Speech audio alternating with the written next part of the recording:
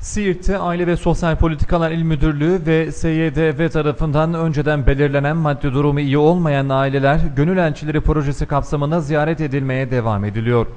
Vali Eşi Bayan Aydın ilimize bağlı Merkez Uluz Mahallesi'nde maddi imkanı yetersiz olan ihtiyaç sahibi aileleri konutlarında ziyaret ederek çeşitli yardımlarda bulundu.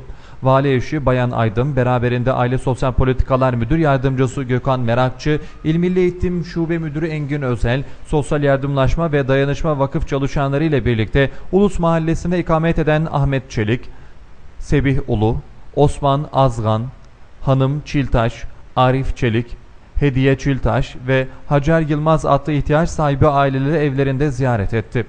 Aileleri konutlarında tek tek ziyaret eden ve kendileri ile bir süre sohbet eden Bayan Aydın ailelerin sorunlarını dinledi. Ailelere aynı ve nakdi yardımlarda bulundu.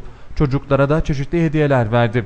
Ailelerin durumları hakkında yetkililerden bilgi alan Bayan Aydın, çeşitli nedenlerle eğitim ve öğretime ara veren çocukların okutulması yönündeki ailelere her türlü maddi ve manevi desteğin verileceğini belirterek, ekonomik yoksulluk içerisinde bulunan ailelere beyaz eşya, barınma, kira yardımı, eğitim ve nakdi yardımlarda bulunduklarını, ailelere destek amaçlı ziyaretlerine devam edeceğini belirtti.